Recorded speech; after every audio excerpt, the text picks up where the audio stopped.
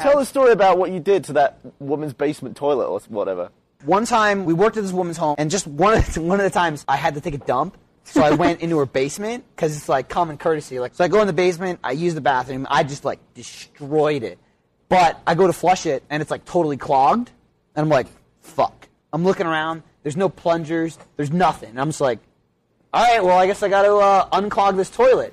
So I, uh, rolled up my sleeve. Oh, God. Yeah, and I just like basically like punched the toilet. When you did that, did Yeah. you keep it as a fist the whole time? Right? It was like a few quick like mm, mm, mm, and like break it up, and then I just washed my hands in the sink. I would probably do a Dead Rising kind of thing where I'd try and craft some weird device that would plunge it for me. What out if you were at work, dude? Okay, I was at work. I'm not gonna spend five fucking hours in the bathroom trying to like MacGyver my shit out of the toilet. Punch, punch, punch. Done. Wash my hands. Back to work.